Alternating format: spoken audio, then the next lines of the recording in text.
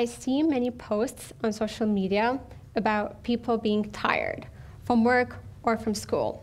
So let me share one of those posts with you today. Your friends who work 40 plus hours a week aren't just avoiding you, they're just tired. Does this look familiar to some of you? Did you know that the World Health Organization recently recognized burnout as an occupational phenomenon? My best friend goes to the gym every morning as part of her self care routine until one day she suddenly stopped going. And she definitely seemed off. There was something about her energy levels. She wasn't like she used to be. So I asked her, Are you okay? And we all know what happens to somebody when you ask them, Are you okay? They will either burst into tears or they'll say, I'm fine. Well, she said, I'm fine. And we all know that when someone says, I'm fine, they're really not. I'm fine means I'm frustrated. I'm upset. I want to quit my job. I want to drop out of school. I'm tired. So, why is it that we are so tired? Is it because we're drained from working too much? Is it because we're overwhelmed with stress? Or is it because we spend too much time working and little to no time doing what makes us feel good? We've all had our fair share of bad days. But the most important question to ask yourself is is it actually a bad day or is it more than that? We can prevent burnout from exposure to chronic stress by practicing self care. But just remember that self care is not a one size fits all. For example, self care for my husband is candles and bubble baths. For me, well, let's just say it's not that. It's easy to wake up every day and show up to work because you have to, it's your job, it's mandatory. Yet, it's just as easy to convince ourselves that we don't need self care. I don't have the time for it. It's ineffective. Or because we think that going on vacation for a few weeks to a nice place is enough of a self care. That's like charging your phone for five minutes, it reaches 20%, and you're like, yeah, I'm set for the whole day. But it's not to last long. So, what happens when we keep coming up with excuses to delay self care? What happens when we postpone self care? Well, first of all, self care increases resilience, motivation, and our ability to cope with stress. It also produces neurotransmitters that are responsible for making us feel good. Without self care, we may experience burnout and compassion fatigue. Burnout has been described as the state of psychological, emotional, mental, physical, and even spiritual exhaustion from chronic involvement in your work. Compassion fatigue is simply the cost you pay for being too caring. It's psychological and physical fatigue from showing too much empathy to others and not enough for yourself. A Canadian psychologist named Donald Hebb once said, Neurons that fire together wire together. Our brains are constantly changing because neurons in our brain are constantly being fired and because certain parts of our brains are more activated than others. Our brains are constantly changing simply from caffeine consumption to stress to practicing meditation.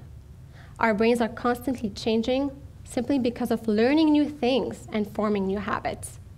And due to the brain's ability to change, we can shape it to a healthier one by rewiring it. And we can rewire our brain by practicing self care. So, to start with, neuroscience is the study of the nervous system. So, that includes the different regions of your brain, the neurons, and the neural connections throughout the nervous system. Neuroscience helps us understand human thoughts, behaviors, and emotions. It also helps us understand how our brain operates under certain circumstances, what happens when we're under stress, and how the brain can change itself. Let's take a look at what happens to our brains when we drink coffee. When you drink a cup of coffee, suddenly your surroundings are clear. Your attention is at its best. It couldn't get any better than that.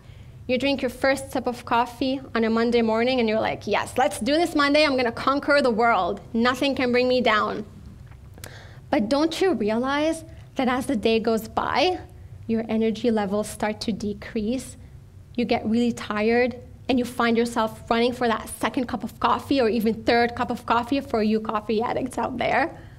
Well, that's because of a molecule called adenosine. Adenosine is a molecule that is naturally produced by your brain, which makes you tired.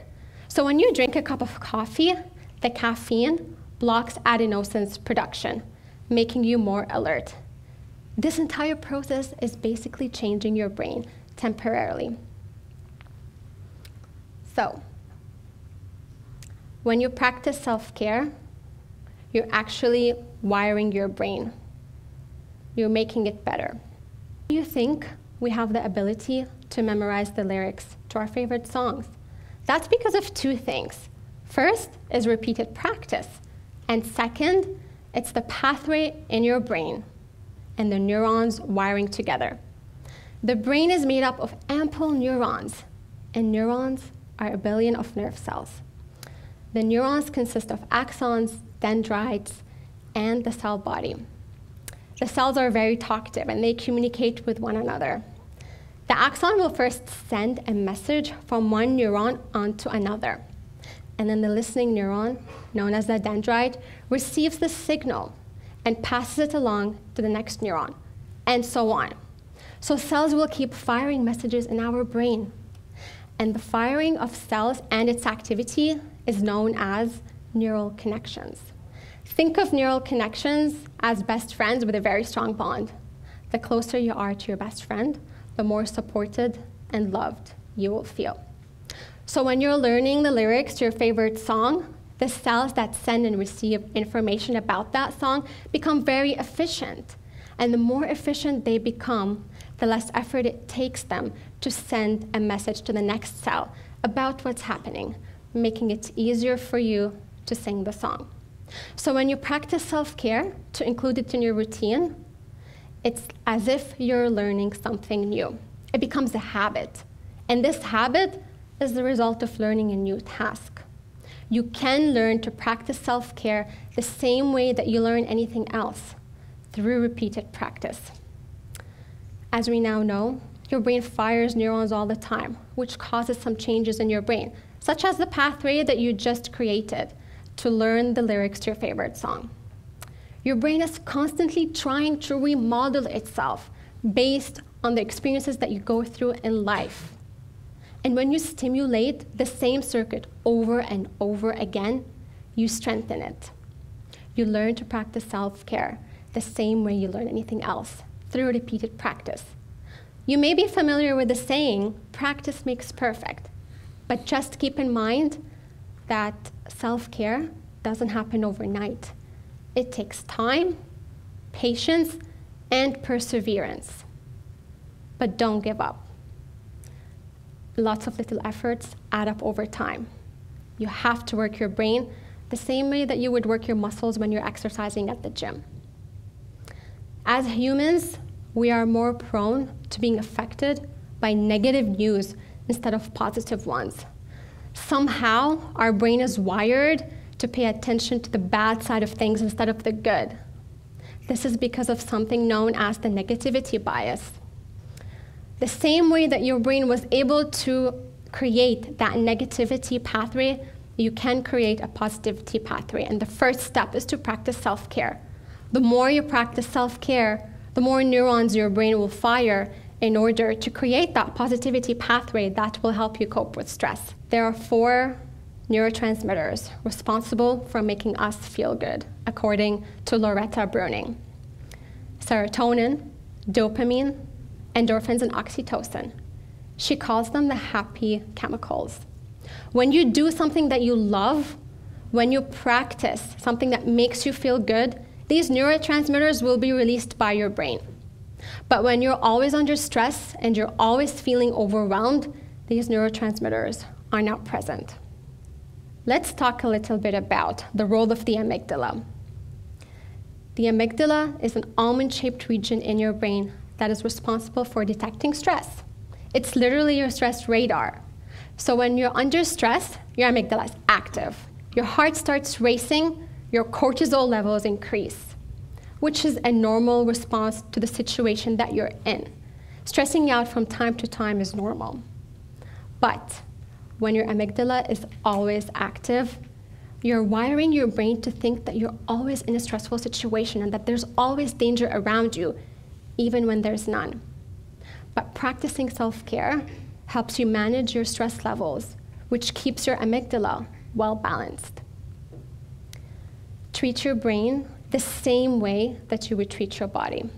Why would you take care of your physical health but neglect your mental well being? Think of it this way your brain is like the remote control, and your body is like the television. As long as you have charged batteries, you can flip through life's challenges with resilience. And in order to charge yourself, practicing self care is essential. But just remember to be patient with yourself. When you create a self care plan, when you're not in crisis, you're creating a toolkit that you can turn to in times of distress. Nobody knows you more than you know yourself. You know how stressed out you get. Use that as the guide to help you create the best self care plan for you to prevent making stressful situations even more stressful. So, to answer the question I posed earlier, what happens when we postpone self care? We simply don't feel good. Our energy levels decrease, we feel less motivated, we don't want to do anything. We may even feel depressed, and it could be hard to get out of. Self care enhances your energy levels, boosts your mood, increases resilience, and most importantly, reduces stress, because stress is inevitable. A healthy brain is a healthy you. Thank you.